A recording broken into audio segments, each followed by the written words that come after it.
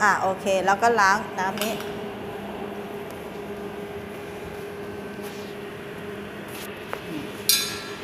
ค่ะ แล้วก็กลับไปล้างไฟฟ้าเหมือนเดิม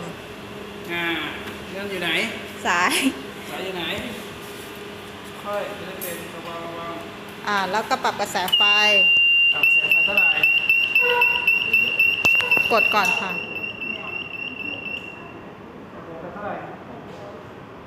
ห้าจุดเก้า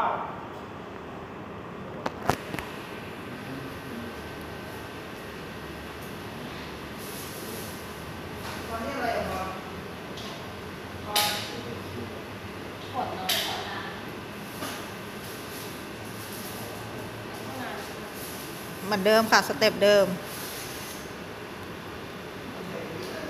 แล้วก็น้ำกรดน้ำกรด5%เปอร์เซ็นต์ต่อไปก็นิกเกิล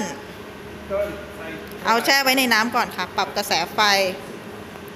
ย้ายสายปรับกระแสไฟสายไฟ นิกเกิลใช้กระแสไฟเท่าไหร่